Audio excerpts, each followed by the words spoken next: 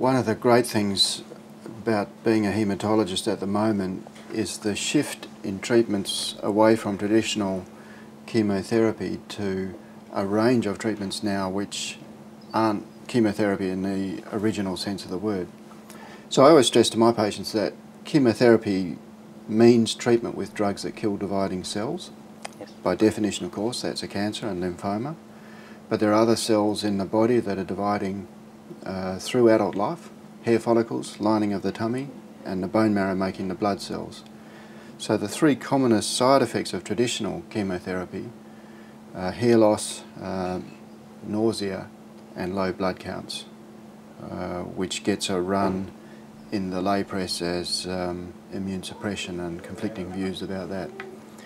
Um, and, and we've been through what I perhaps a little bit cynically call the golden age of chemotherapy when it was discovered in 1976 that a certain combination, the forerunner of CHOP, cured a lot of people with a common form of lymphoma. People started saying, well, if chemotherapy works, let's give more of it and we'll get even better results. And so around the world, different and very prestigious cancer centres each devised their own regimens. Um, and I think part of the competition was about the best acronym, so we had ProMACE, CytaBOM and MACOP-B and a variety of others, until finally somebody said let's actually compare them.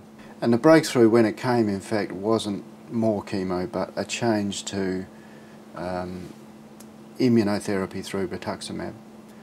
And the great thing about rituximab, uh, I think, is that it not only is improving cure rates in aggressive lymphomas, it's prolonging survival and periods of time between treatments for people with low-grade lymphomas. There is a risk of an asthma-like reaction and low blood pressure at the time of particularly the first infusion. Thankfully that's uncommon and uh, after that it's generally very well tolerated and it's added about 15% to the survival rates for diffuse large cell lymphoma, up from 60 to 75%, which is getting into the territory of the survival rates for Hodgkin lymphoma, one of our big success stories.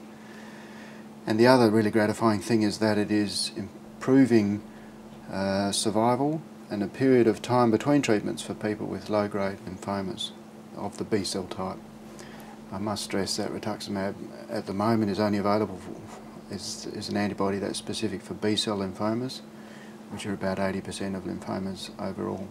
There's a lot of work being done uh, on more antibodies, um, including some directed against the original molecule that rituximab was directed against, and other antibodies now directed against other molecules that characterise other types of lymphoma. Um, so there's uh, an antibody which is being used in chronic lymphocytic leukemia, which is a related disorder. And we're still waiting for the first antibody for T-cell lymphomas.